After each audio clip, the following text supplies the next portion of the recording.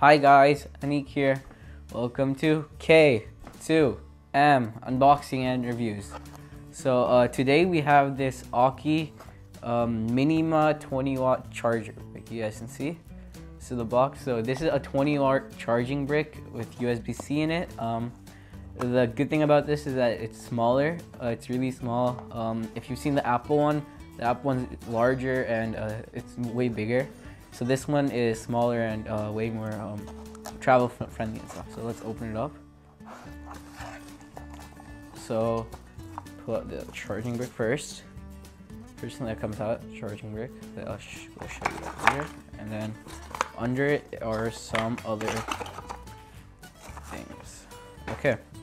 So we have this um, user manual you guys can see. So it just tells that you can use it with both uh, iPad and iPhone. And then um, it comes with a sticker.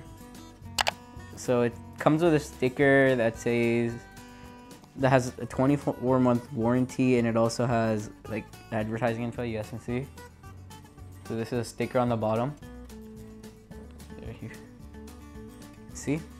Um, now onto the charging brick. So let's take off the plastic. Can see it better then. You guys can see this is the charger. So it's black. Uh, it has a USB-C there. It folds like into a small square. It's a little bit bigger than the USB lightning charger which was 5 watts but it's still smaller so it won't take up multiple um, spaces so you can still put something under the port, right? You guys can see that.